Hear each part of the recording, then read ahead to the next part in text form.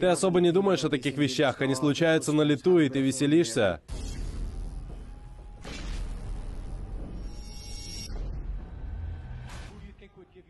Какой костюм? Синий в полоску. Мне очень нравится этот костюм. Один из моих любимых. Несколько раз надевал его. Обычно я не ношу больше одного раза, но этот носил. Он выигрывает TKO, когда я нокаутирую людей, они не двигаются. Нокаутируешь? Кто это нахер такой? Кто это такой? Ты прекрасно знаешь, кто я. Чё это нахер за тип? Ну, конечно, я знал Джереми. Джереми отличный боец. Он бился в легком весе, спустился в полулегкий, у него тяжелые удары.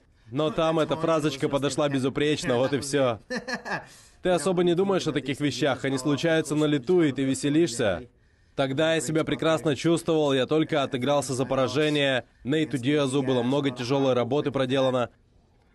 И после я готовился к поединку за второй титул чемпиона, здорово себя чувствовал ментально, физически. И не знаю, это просто слетело с моего языка и шибануло по щеке Джереми.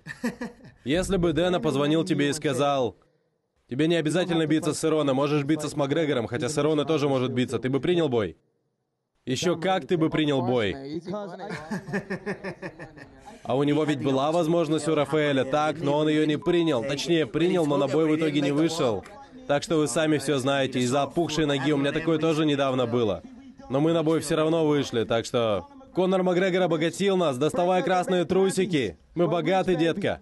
Так что не прикидывайся, что ты бы не принял бой, потому что ты бы принял бой со мной, как и все остальные на сцене, независимо от веса, поясов и всего этого дерьма. Я денежный бой среди мужиков во всех весовых, так что пошли все остальные. Сейчас это так же справедливо, как тогда. Сейчас это даже более справедливо. Знаете, я вывел себя на эту позицию и... Это хорошо, я не врал и не вру. Вот, ты смотришь на короля Дублина. Ты смотришь на короля Дублина, да? Ты смотришь на него, он перед тобой. Как классно я его запутал.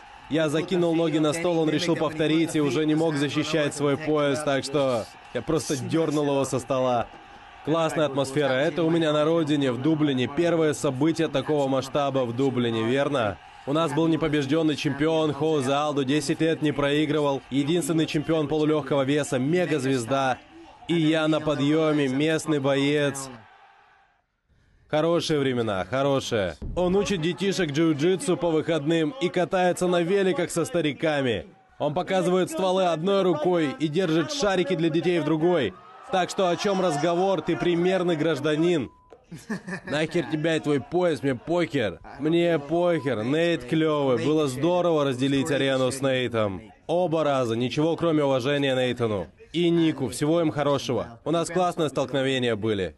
Мы схожи. Не всем, конечно, но чем-то схожи. И я бы с радостью когда-нибудь провел третий бой. Конор не имеет права гнать на легковесов. Мы слишком большие и сильные для него, так что он может взять свою мелкую английскую задницу и... Слишком медленные и неподвижные. Ты неподвижный, как доска. Ну, ставлю пятерку за попытку. Он попробовал, что сказать, старик Дональд. Правда, он был неправ, что я мелкий для 155. В итоге, что я сделал? Поднялся и показал лучшее выступление в истории чемпионских боев UFC. Так что пару раз он был неправ в эту ночь. Он говорил про Алдо, что я не пройду Алдо. Вот, смотрите, сейчас это будет. Перед тобой монстр Алдо, который 145 скоро тебе задницу надерет, а ты выпендриваешься на легкий вес, завязывай. Но он пытался, да, Доналд? Правда, он несколько раз ошибся в эту ночь, так что... А еще он, кстати, говорил, что мы там стояли вместе рядом за кулисами, я ничего не сказал, и всякое подобное дерьмо, и недавно фотки были... И недавно фотки опубликовали в преддверии этого поединка, где просто там на расслабоне руки по карманам, и он что-то стоит. Не, это... это... Никаких эмоций. Да и я уважаю Доналда, если честно. А как иначе, даже если с этого момента взять, сколько раз он побился с этой пресс-конференции? Раз двадцать, наверное. Как можно это не уважать? Как можно не снять шляпу за это? Также он отец, я отец, понимаете? Не знаю, посмотрим, что будет. Я ничего не планирую, просто действую по ситуации. Но будет весело, как всегда.